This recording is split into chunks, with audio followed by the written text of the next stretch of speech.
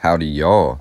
Have you ever looked back into the old world depictions of not only buildings and structures, but also people in their attire, and wondered exactly how everything came together so perfectly to create the world that we have today? Now, the question becomes for me as we discuss the advanced ancient civilizations which seem to set the groundwork for nearly every major city around the world. What were the tools which inspired or aided this construction. That is where we come to a discussion of advanced ancient mechanisms, devices which we often call antiquitech, which can seemingly be interpreted in many different ways depending on who you ask and when. According to many modern history books, we are told that these devices were comprised mainly of simple tools and ornamental designs, and for the most part, the major feats of the ancient world were achieved primarily by the use of manpower alone.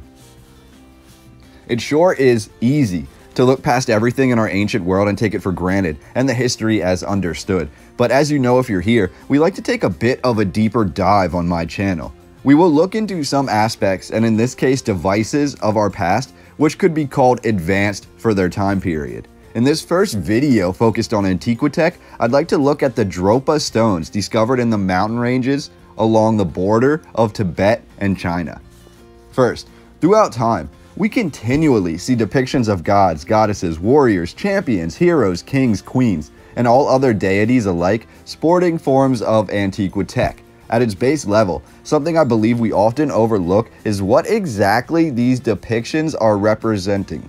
To understand that, for a 1,000 year old statue to contain intricately designed jewelry, head attire, weaponry, and other advanced devices, the people of that time most often would have at least understood what these devices did or what they were meant to represent within this sculpture or artistic depiction. Take, for example, a child drawing a superhero. You may see something in the child's picture of the hero that you might not understand, but when you ask the child who drew it, oh, what does that do?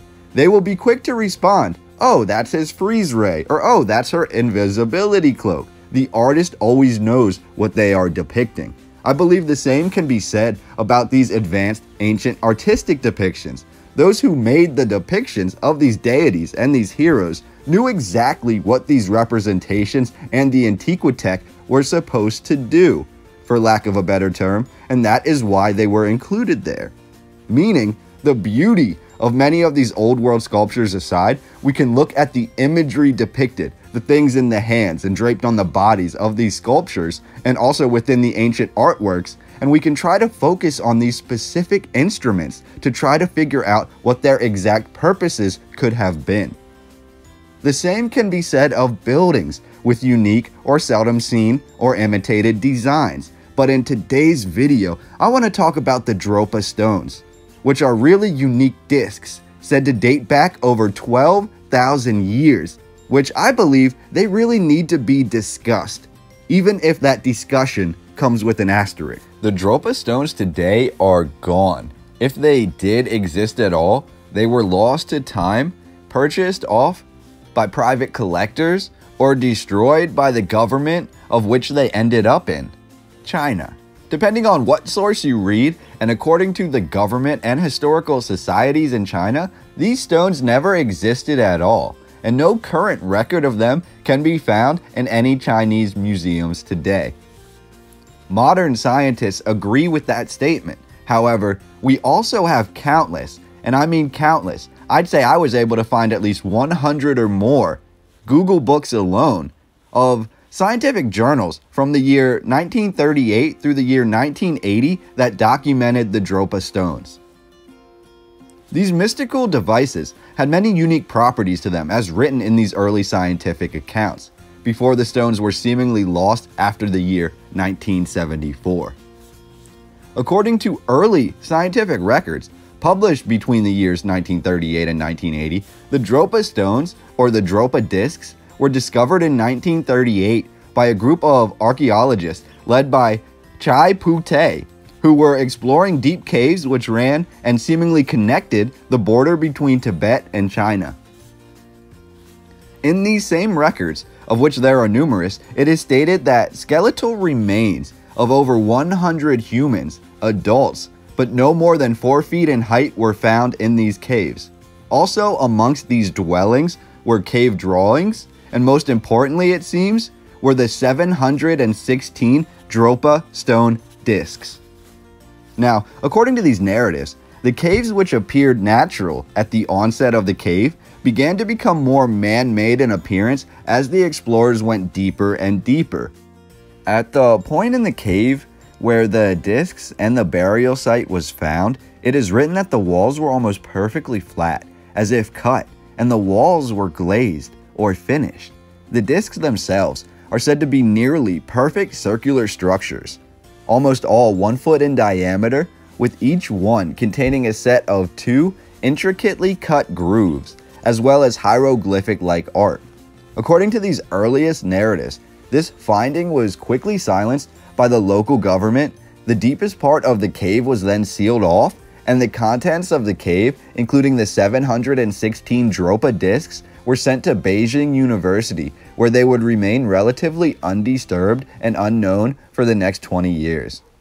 At some point, within the grooves on the Dropa discs were found to be tiny, nearly microscopic hieroglyphs. Much like early records placed the needle in a groove to play back music, these hieroglyphs appeared to have some sort of advanced feature, as the hieroglyphs were nearly impossible to see with the naked eye. Beijing University apparently then brought in Dr. Sum Um Ne in the early 1960s to try to decipher all of these discs. After four years, Dr. Sum concludes he has deciphered the hieroglyphs and the ancient language written on the Dropa discs. In his findings, he wrote that the Dropa discs contained the history of man and how that history begins in ancient Asia when an aircraft, something like a spaceship of an advanced people, crashed on Earth in that region. Dr. Sum continues that these creatures were then hunted furiously by the ancient Dropa and Hun people before finally realizing that these creatures were peaceful and they intermingled with one another. This, according to Dr. Sum, led to the Dropa people advancing much faster than the rest of the world and also led to their size becoming so small, or them all being listed as roughly 4 feet tall. Now, when Dr. Sum released these statements, he was shunned by most of the scientific community. Further research seems to indicate that his career essentially ended after he attempted to publish these findings. Whether that is due to the Chinese government blocking this publication, we may never know. However, Dr. Sum was able to have his finished work published, albeit he himself went into reclusion in Japan, and no record indicates what happened to him after this time. While Dr. Sum's findings seemingly ended his career and possibly his life. In this narrative, we are told his work caught the attention of Russian scientists who looked to conduct further experiments on the discs. We are told multiple Dropa discs are then sent to Russia.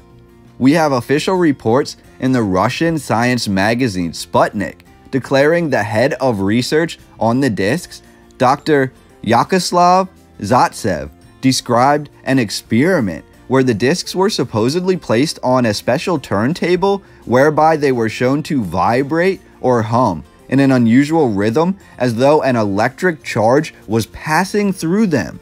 It is said after these experiments, the discs were then destroyed, only to find that they contained extremely high levels of rare materials. The last known sighting of any of the Dropa discs occurred in 1974 when Dr. Ernst Wagner visited the Banpo Museum. Here, he requested two of the stones, or discs, and information about them. He was told he could not take the stones with him for further research, and the museum knew nothing about the stones, but they did allow Ernst to view the stones while he was there. To his amazement, he found it difficult to photograph the stones at all, as without his flash, they appeared dull and lifeless. But when he applied a flash to these discs, or just a tiny amount of bright light, the stones glowed almost too bright to be photographed. He also noted that while he could barely see the grooves or the hieroglyphs with his naked eye, he did admit that the grooves were indeed there. And when I looked into it, I could locate zero of these photographs that were taken by Dr. Ernst Wagner. From there, the Dropa stones go missing from all historical record books. If they did exist, they are now some of the rarest early Antiquitech one could ever get their hands on. Not only did these nearly perfect discs seem to tell the story of our ancient history in nearly microscopic hieroglyphs, but they also were created out of stone and minerals and a compound which seemed to, according to these early records, be conductive of electricity. Being 12,000 years old or more also makes this discovery, if substantiated, one of the most important discoveries in all of Asian history. And yet, this is where we reach the main issue. All records of these Dropa discs have seemingly been misplaced or destroyed. It's odd to me. On the official narrative page, we have all these references and resources given to the early reports about the Dropa discs, and I was able to myself locate at least 100 additional sources written in English making claims about these discs. And yet, in the modern day, 2022 official narrative page, we have three paragraphs that are given here at the end, basically claiming that the stones never existed, the Chinese government never destroyed them, and the whole thing was a claim that was made up by one man years after the discs were discovered. How can the discs and this whole story itself be a fabrication and made up by someone who essentially made up the story according to this claim, after the discs and the cave had already been discovered, reported, and excavated. I have literal documents dated to 1938, the year the cave was founded. So for the mainstream current narrative to say that the whole story was a fabrication from many years later is absolutely obtuse to me. What I believe, in my opinion, that we have here is evidence being covered up and hidden. And through years of rewriting this narrative, we are told that essentially these discs never existed. However, at the same time, and the funniest part about all this in the mainstream, the current narrative, the three paragraphs in this mainstream narrative, which claim that everything else written before it is essentially a lie or fabrication, are the only three paragraphs in this whole narrative that don't have any citations. Meanwhile, while the Dropa discs have scientific reports published worldwide roughly 80 years ago and onward, right up until about 1980, seemingly proving their validity, we still have the mainstream article today and scientists from China today literally making unsubstantiated claims that this history is all a lie. So I want to end the video asking, what do you think about the Dropa discs? Do you think the Dropa discs really existed? Do you think that they still exist today? And do you think that the Dropa discs had advanced Antiquitech properties? I'd love to hear your thoughts and your comments down below. And if you want to support me or reach out to me directly, you can do so on these links here. Thank you so much for being here, and I look forward to talking to you on the next video.